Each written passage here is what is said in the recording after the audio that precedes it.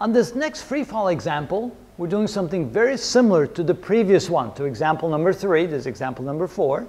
We're still finding time before it hits the ground and velocity when it hits the ground.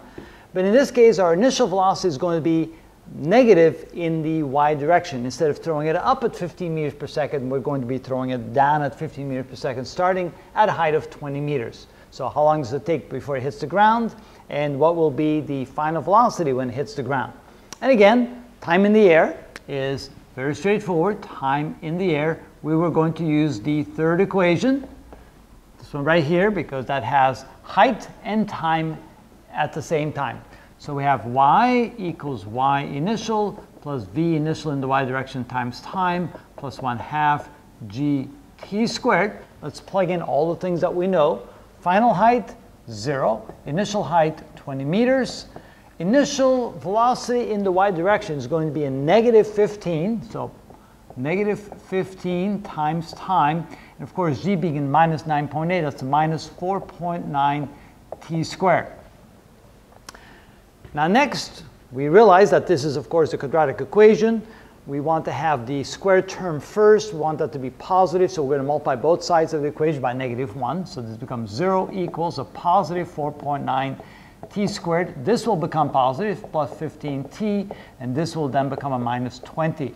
Now we can go ahead and plug that into our quadratic formula. You can say that t is equal to minus b plus or minus the square root of b squared minus 4ac all divided by 2a, realizing that this coefficient is a, this coefficient is b, this coefficient is c. So let's plug in those numbers, see what we get. T is equal to minus b. Now b is a positive 15, so it becomes minus 15 plus or minus the square root of b squared. 15 squared is 225 uh, minus 4 times a and times c, which is a minus 20. Notice that this minus will cancel out this minus, and the whole thing divided by 2a, which is 9.8. We can go ahead and simplify that a little bit. Multiplying these numbers together, that is 392. So this is t is equal to minus 15 plus or minus the square root of the calculator. So that would be 392 plus 225. That's 617.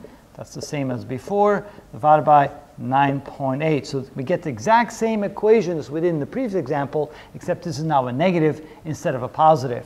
So we're going to get, again, two answers because the plus and minus right here. So let's start with the plus square root of 16 for 617 first, which is 24.8. So let me write that down. So t is equal to minus 15 plus or minus 24.8 divided by 9.8. So here it's easier to see that you're going to get a positive and negative answer. So let's start with the positive answer first.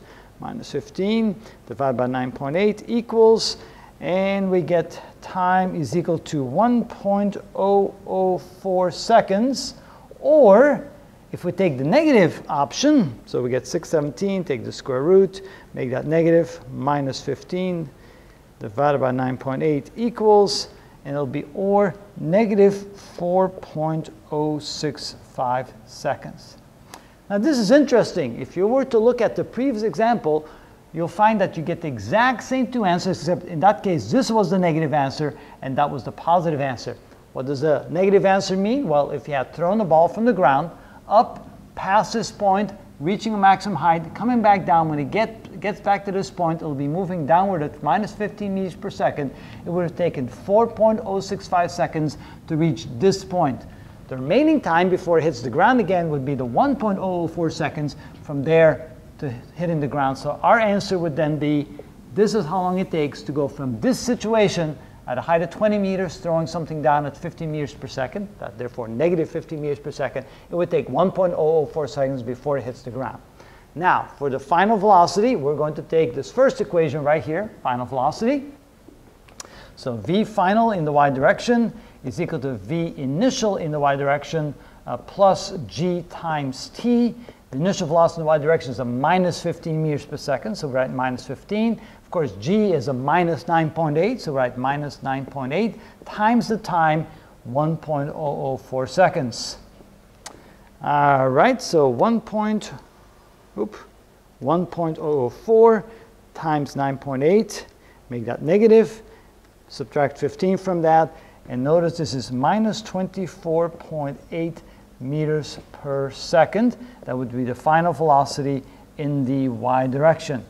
Now what's interesting here is that's the exact same answer we got in the previous example. In the previous example, we threw the object upward at 15 meters per second, and in this example, we throw the object downward at 15 meters per second, and strangely enough, we get the exact same final answer for the velocity.